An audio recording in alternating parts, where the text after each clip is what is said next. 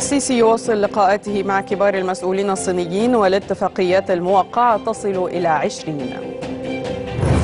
محلب يفتتح اليوم عددا من المشروعات التنموية بالمنوفية. الداخلية ترفع درجة الاستعداد إلى الحالة جيم لتأمين احتفالات عيد الميلاد. أسعد الله صباحكم مشاهدينا وأهلا بكم إلى موجز الأنباء حيث يواصل الرئيس عبد الفتاح السيسي لقاءاته مع كبار المسؤولين الصينيين خلال زيارته الرسمية الحالية للصين حيث يلتقي برئيس الوزراء ورئيس البرلمان إضافة إلى رئيس لجنة العلاقات الخارجية بالحزب الشيوعي الصيني. كما سيتم التوقيع على نحو 15 اتفاقية غير حكومية مع الشركات الخاصة الصينية ليصل إجمالي الاتفاقية الموقعة خلال زيارة السيسي الحالية للصين إلى نحو 20 اتفاقية.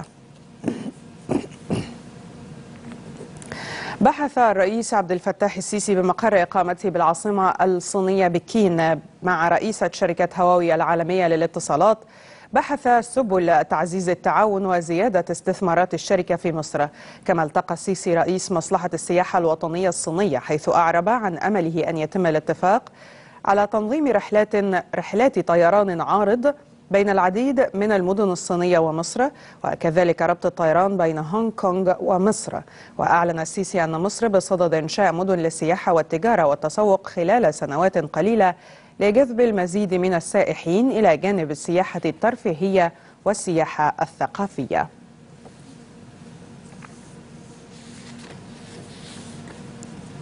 يفتتح المهندس إبراهيم محلب رئيس مجلس الوزراء اليوم عددا من المشروعات التنموية المختلفة بمحافظة المنوفية كما سيقوم بتسليم 2400 وحدة سكنية ضمن وحدات إسكان الشباب بمدينة السادات. كان محلب أمس قد افتتح محطة مياه الشرب في مدينة بلبيس بمحافظة الشرقية. كما قام بتسليم عدد من عقود وحدات الإسكان الاجتماعي بمدينة العاشر من رمضان للمستحقين الذين انطبقت عليهم شروط المشروع. أكد مصدر أمني رفيع المستوى بوزارة الداخلية أنه تم رفع درجة الاستعداد داخل كافة قطاعات الوزارة إلى الحالة جيم ابتداء من يوم غد وحتى السابع من يناير في إطار خطة تأمين احتفالات عيد الميلاد المجيد. وأضاف المصدر أنه تقرر إلغاء كافة الإجراءات الإجازات والراحات للضباط والأفراد والمجندين بجميع مديريات الأمن والإدارات العامة والمصالح التابعة للوزارة ورفع درجة الاستنفار الأمني بكافة محافظات الجمهورية.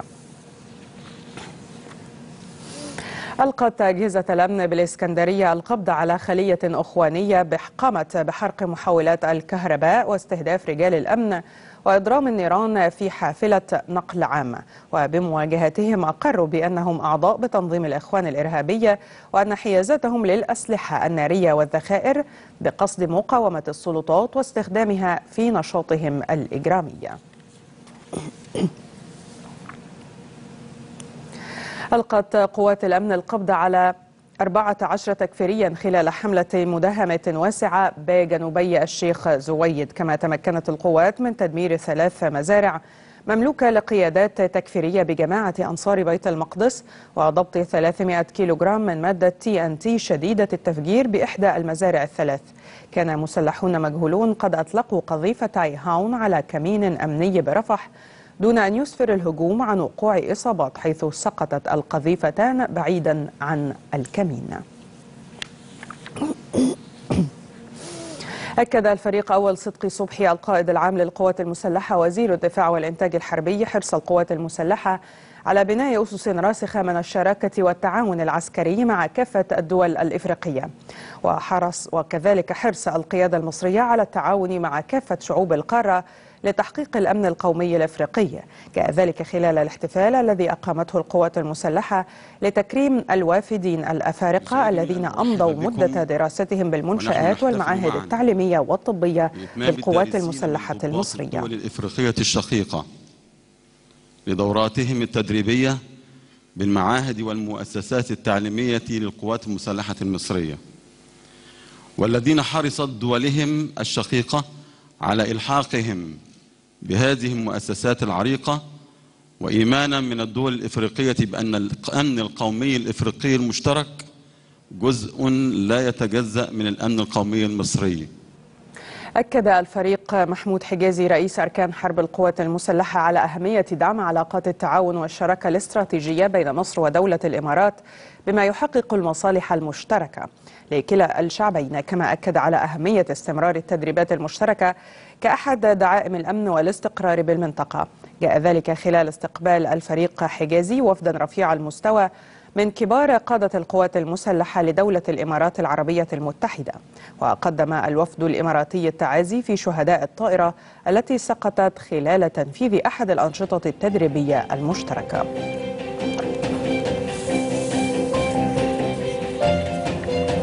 ختاما نذكر بأبرز العناوين.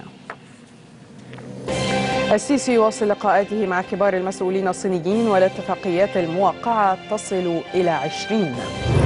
محلب يفتتح اليوم عددا من المشروعات التنموية بالمنوفية.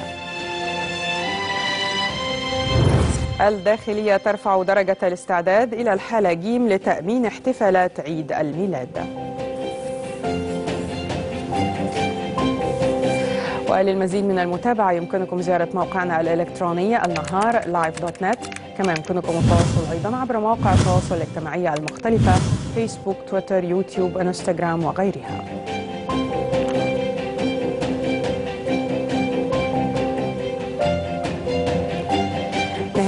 شكرا لكم وإلى اللقاء.